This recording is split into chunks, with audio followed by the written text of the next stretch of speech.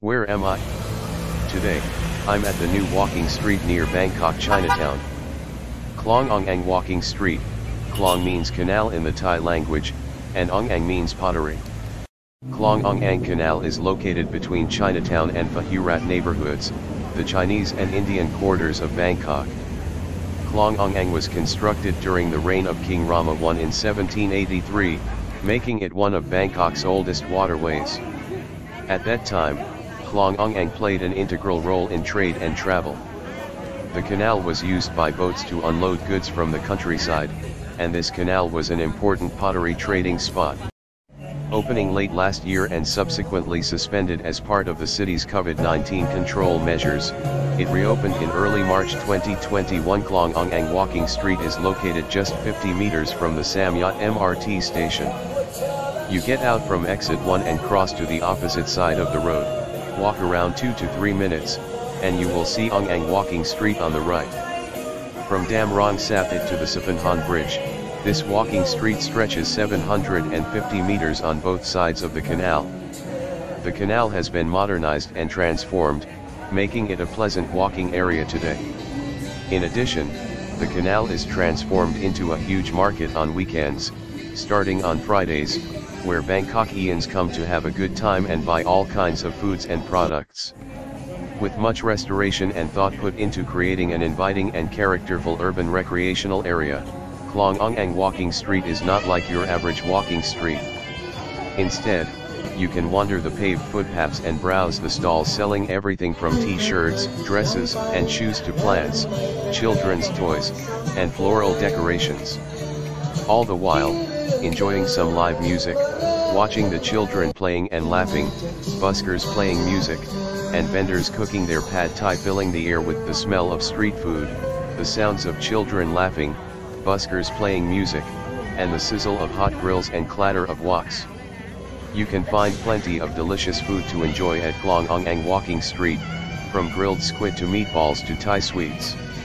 As we continue walking along the footpath, we see tourists and locals munching on their chosen morsel or sitting at one of the many dining tables positioned along the canal.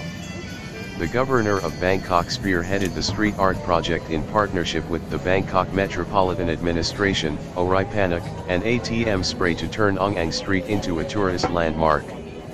Walls along the canal and some of the alleys are decorated with street art murals created by local artists.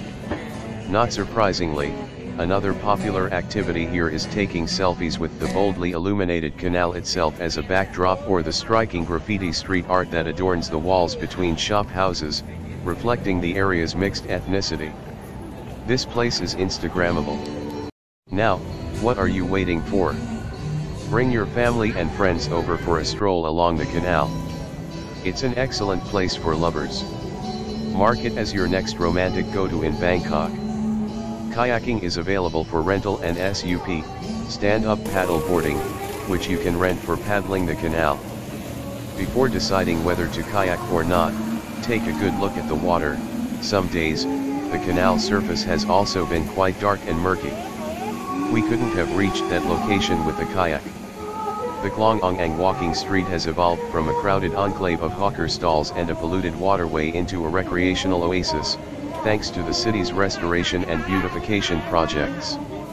They cleaned the canal water, paved the canal banks, and renovated the historic bridges to improve the canal. The UN Habitat's Regional Office for Asia and the Pacific, awarded the Klong Ong Ang Renovation Project the 2020 Asian Townscape Awards. So this is why you must visit the Klong Ong Ang walking street and experience it. Mark this place as a must-go attraction when you next visit Bangkok. I have indicated the address in the description below. The walking street opens every Friday, Saturday, and Sunday from 4 p.m. to 10 p.m. It runs 1.5 kilometers along both sides of a beautified section of Klong Ong Ang between the Damrong Sathit Bridge and the Sapanhan Bridge. However, when we were there on Sunday night, only one side of the street was lined with stalls. It's such a pity as it will be good to see more stalls open for business. Right now, it remains a local affair, and the vendors mainly sell products that are of interest to locals. However, once international tourism, especially Chinese tourism, discovers this market, there is a possibility that products and food will change considerably, adapting to tourists' tastes. Thank you for watching, and if you like what you see, please subscribe, like, share, and comments, click on the notification bell so you will be notified when my new videos are up.